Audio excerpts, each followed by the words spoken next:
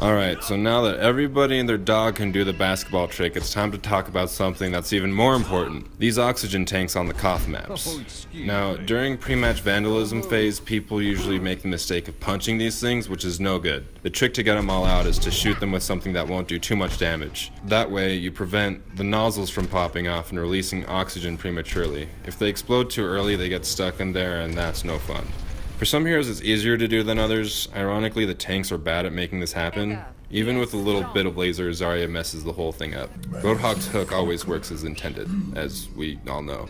Surprisingly, Reinhardt pulled it off with just one fire strike.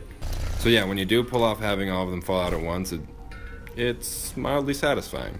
I mean, it would be cool if confetti or candy came out of the oxygen tanks if you can manage to pull it off, but actually no, that would make sense. You need the oxygen to spread around the room so your teammates can have it in their bloodstream or be healthy. I don't know. Don't Olympians do that or something? Doesn't oxygen actually make you high? I'm pretty sure Blizzard is planning on making these oxygen tanks more useful in the game. I think I remember Jeff Kaplan or Stylus Lost said something about it. Anyway, I'm not sure if this if you already know all this information. I just wanted to get in on the tank meta.